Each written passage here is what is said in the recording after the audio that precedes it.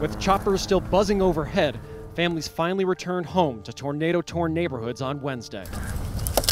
Like the Stevens family, who came back to Heather Lane to find very little left of their previous lives.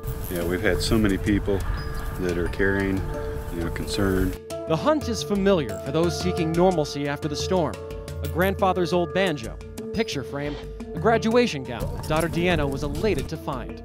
Because it's my senior, just memories. Because this is my house, is what I grew up in. It's everything.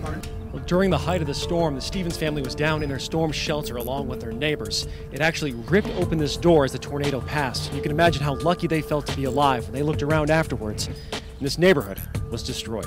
And it is crystal clear. All this is material. Yeah, her and her, and you know our, our pets. You know, that's what's important. Through it all, Deanna says her father Thank you. has been their rock. Telling us we're gonna be okay, even though we know we're gonna be okay. It's hard.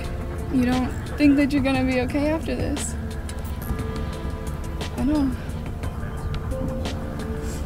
Sorry. Like all those in Moore doing the same thing right now, it's one day at a time, one foot in front of the other, and family by your side. Chop it up into phases, and this is phase one. Get it taken care of, then we'll, we'll go next step. I'm meteorologist Eric Fisher, the Weather Channel.